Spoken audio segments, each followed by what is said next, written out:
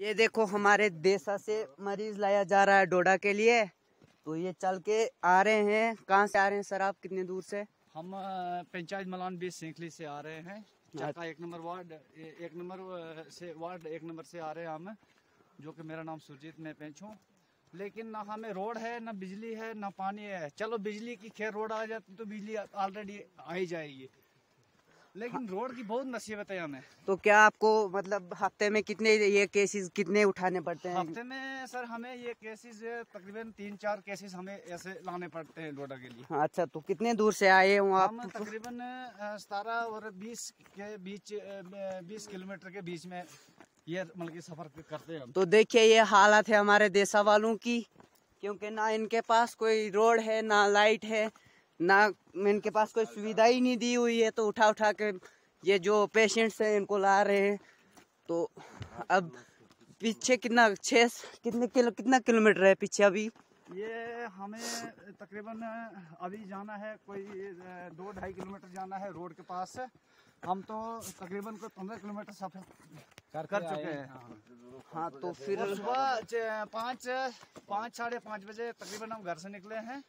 जो कि अभी तक टाइम मेरे ख्याल में साढ़े ग्यारह बारह बजे के करीब है।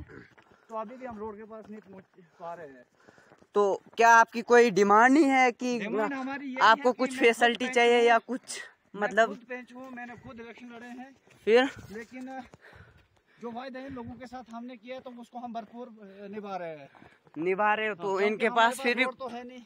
कुछ नहीं पहुँच रहा आप निभा रहे हो बट इनके पास कुछ पहुँच नहीं रहा है। पहुँच नहीं रहा है मसला रोड का है। हाँ तो रोड मतलब आपकी आप क्या चाहते हो? आपको रोड चाहिए नहीं चाहिए? चाहिए चाहिए नहीं तो हफ़्ते में ये तो अभी बर्फ़ नहीं है। हाँ तो अगर बर्फबारी हो जाएगी यहाँ। मरीज़ बंदा मतलब की मरीज़ मरीज़ के साथ कुछ भी हो सकता हाँ रास्ते में भी दम टूट सकता है। ये देखो ये हालात है हमारे देश वालों का। न इनके पास पानी है न इनके पास लाइट है। ना रोड है इनके पास और मरीजों को उठा उठा कर ला रहे हैं। तो अब इनके साथ क्या करना चाहिए हमारे जो गोविड हैं मतलब पंचायत मलान ये बीस से हो आप।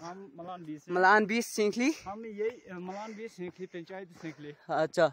जनाब हम गवर्नर साहब सबसे पहले मैं गवर्नर साहब का तहे दिल से शुक्र शुक्रिया करना चाहता हूँ कि हम गरीबों की कोई भी सुनाई नहीं सुनाई हो रही है। नहीं होती आगे। तो आप भी तो, तो पेंच हो तो आप